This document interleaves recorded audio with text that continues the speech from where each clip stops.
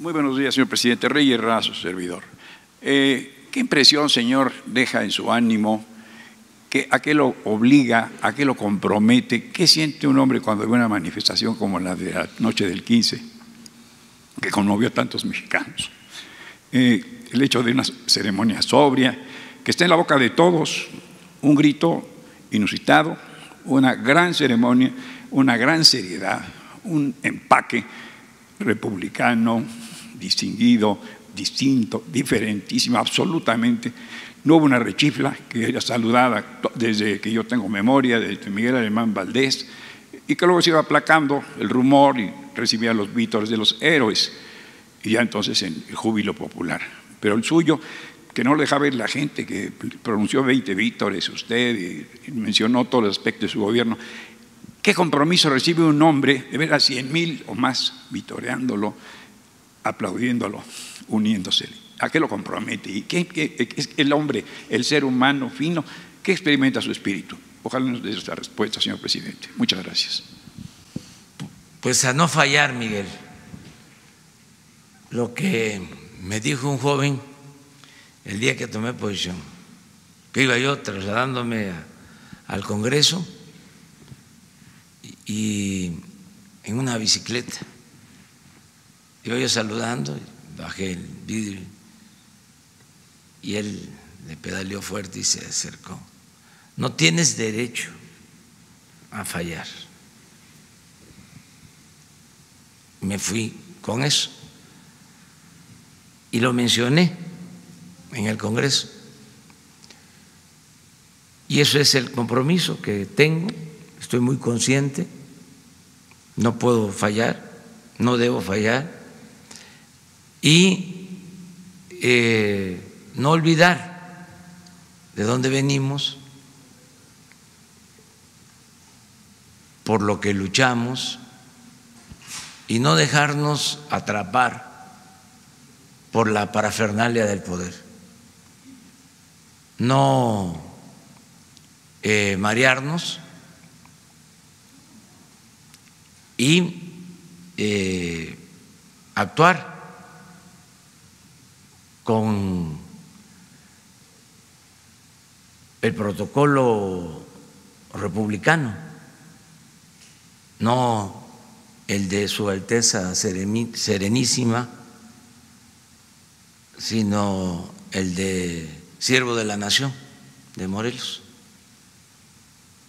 Entonces, eh, estar muy eh,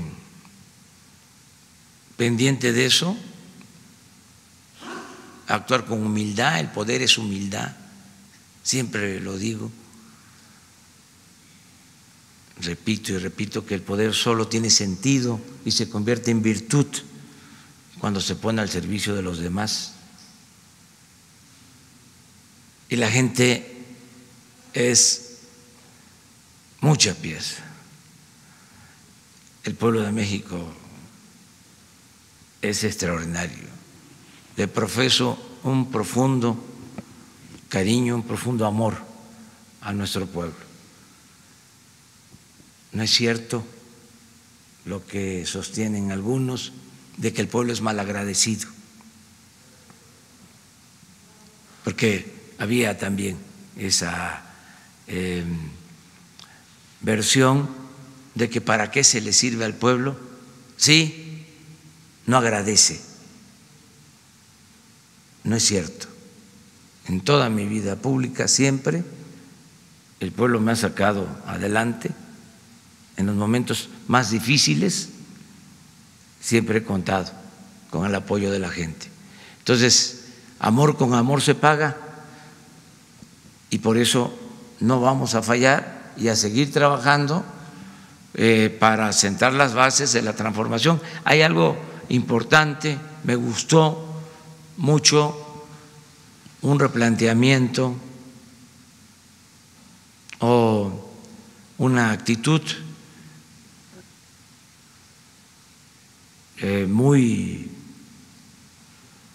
eh, digna de algunos adversarios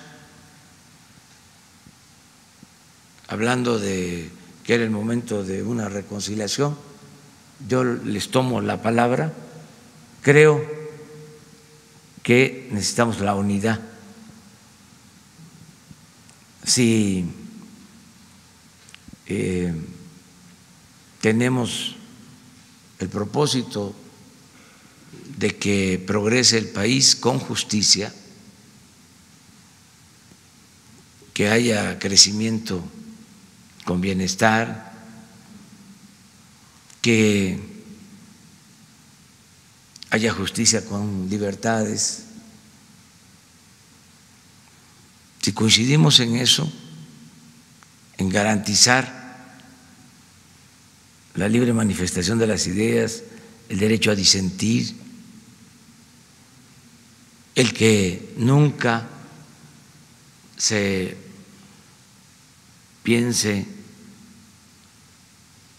en el autoritarismo, en la mano dura, ni siquiera en la mano blanda, nada de dictadura, nada de dicta blanda, sino construir una auténtica democracia.